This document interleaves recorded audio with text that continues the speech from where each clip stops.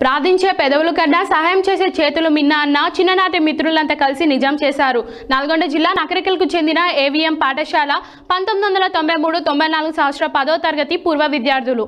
పంతొమ్మిది వందల తొంభై మూడు తొంభై నాలుగు సంవత్సర పదో తరగతి చదివిన స్నేహితులంతా సోషల్ మీడియాలో వైరల్ అవుతున్న ఒక వీడియోను చూసి వారి హృదయం కరిగిపోయింది. చౌటుప్పల్ మండలంలో ఉన్న అమ్మానాథ అనాథ ఆశ్రమానికి తోచినంత సహాయం చేశారు. చాటుప్పల్ మండలంలో ఉన్న అమ్మానాన్న అనాథ ఆశ్రమం గత పదహారు సంవత్సరాలుగా నిర్వహిస్తున్నారు. ప్రస్తుతం అమ్మానాన్న ఆశ్రమంలో మూడు వందల యాభై మంది నిరాశ్రులుగా ఉన్న ఈ కరోనా వైరస్ ప్రభావంతో రాష్ట్ర ప్రభుత్వం లాక్డౌన్ ప్రకటించిన దాంతో ఆశ్రమానికి నిధుల కొరత వలన నిర్వాహకులు అందులో ఉండే వారికి భోజనం పెట్టే స్థితి లేక వారిపై దయ ఉంచి ఎవరైనా నా దాతలు ముందుకు రావాల్సిందిగా నిర్వాహకులు పిలుపునిచ్చారు.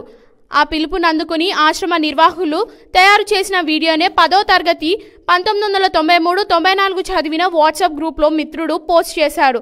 మరో మిత్రుడు వెంటనే దానికి స్పందించి మనం ఏదైనా చేద్దాం అనే ఒక ఆలోచనను మిగతా వారితో పంచుకోగా వెను వెంటనే ఆ మిత్రుని ఆలోచన మెచ్చి గ్రూపులో ఉన్న వారంతా కేవలం కొన్ని గంటల్లోనే తోచినంత సహాయాన్ని ప్రకటించారు.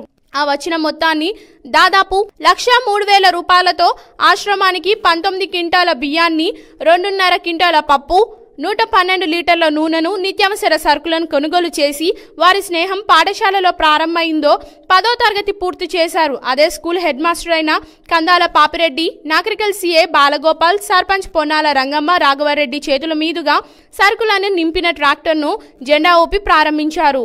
ఆశ్రమ నిర్వాహకులకు గట్టు శంకర్ తమ వీడియో చూసి ఇలా సహాయం చేయడానికి వచ్చిన మిత్రులను రుణాన్ని తీర్చుకోలేనని ఆశ్రమం ఎలా నడుపుతున్నారో ఇందులో ఉన్న వారికి ఎలా తన సేవలు చేస్తున్నారో అక్కడికి వెళ్ళి స్నేహితులకు వివరించారు. అక్కడున్న పరిస్థితులను గమని నా స్నేహితుడు కళ్ళు మార్చడంతో పాటు నిర్వాహకుడు శంకర్ చేస్తున్న పనిని అభినందించారు. ఈ సందర్భంగా శంకర్ మాట్లాడుతూ ఎవరైనా తమ ఇళ్ళలో శుభకార్యాలు శుభకార్యాలు జరిగినప్పుడు మిగిలిపోయిన ఆహారాన్ని పడేయకుండా వాళ్ళ ఆశ్రమానికి తీసుకువెళ్తే వాళ్ళు తీసుకుంటామని కూరగాయలు పండించే రైతులు సరైన ధర లేదని రోడ్ల మీద పారవేయకుండా ఈ ఆశ్రమానికి పంపించాల్సిందిగా కోరారు.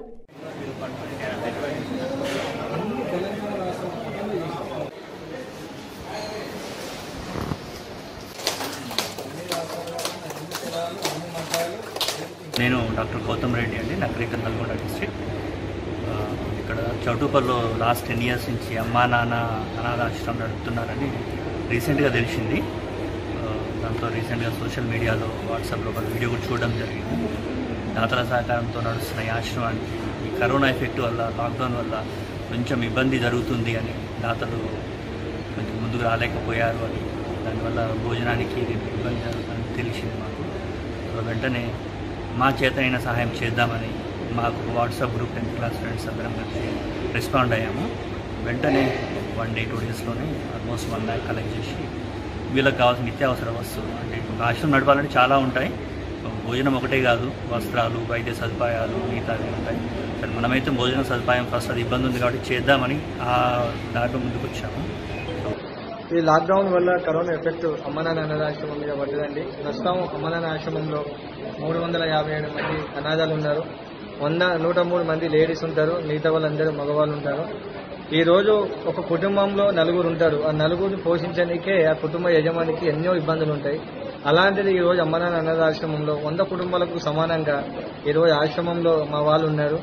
ఈ రోజు మీలాంటి దయ వల్ల ఈ రోజు లాక్డౌన్ వల్ల ఎవరు ముందుకు రాలేకపోతున్నారు కాబట్టి ఈ రోజు మన నల్గొండ నల్గొండ సూర్యాపేటకు చెందినటువంటి గౌతమ్ రెడ్డి గారు శివశంకర్ గారు ముందర ముందు